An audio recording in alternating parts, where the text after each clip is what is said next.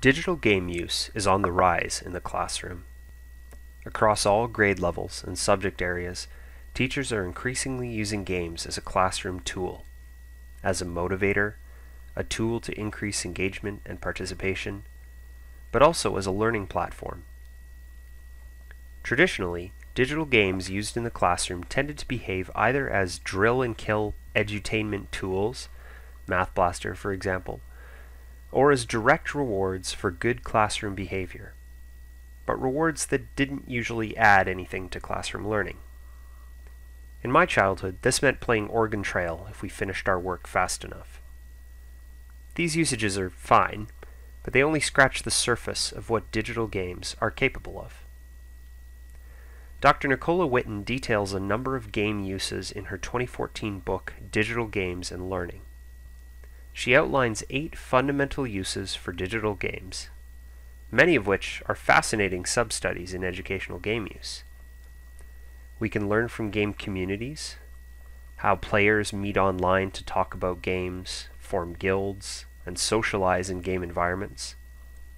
We can learn through game creation, constructing and expanding our own knowledge as we build our own games from the ground up. As it informs my research, however, Ms. Whitton references learning from playing games. This involves the informal learning we do through the process of play itself, usually in the context of an entertainment-driven product. We pick up on the civil costs of extended war as our countries battle each other in civilization.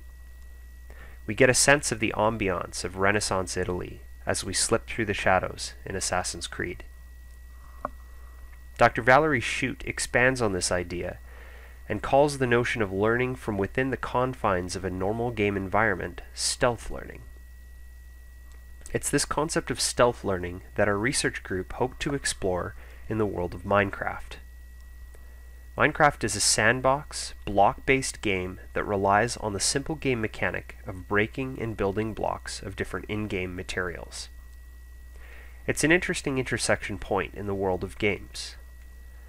Minecraft has experienced extreme commercial success, but has also been seen as an interesting educational product almost since its initial release. To our research group, we saw Minecraft as a gateway to spatial geometry concepts in mathematics. It's a natural fit. Players work their way through a block-based world and are constantly forced to use and develop their ideas of perimeter, area, volume, and other simple geometry concepts. Though they may not be aware of the words to describe the concepts they're experiencing, they're constantly forced to evaluate the blocks in their surroundings for estimations of these values. How much wood do I need to build that fence? How high can I build my castle with the supplies I have on hand? Players learn to estimate and in some ways actualize these concepts without being formally taught their definitions. We saw this as a masterclass in stealth learning. We had access to grade 3 and 4 students who were attending a week-long Minecraft summer camp at our university. We developed a program to target spatial geometry concepts, including a number of evaluation items. A formal pen and paper pre-test and post-test, an integrated stealth assessment item within the Minecraft world itself, and a survey item for the students and their parents. And we saw some interesting mixed results. Although our pretest and post-test averages were almost identical, there was a noticeable difference in the way students were approaching spatial geometry concepts in their in-game environments. Their structures became bigger, and our camp instructors observed a change in the scope, scale, and terminology students were using to refer to their structures. They seemed to be gaining an understanding of spatial geometry. It just wasn't showing up on paper.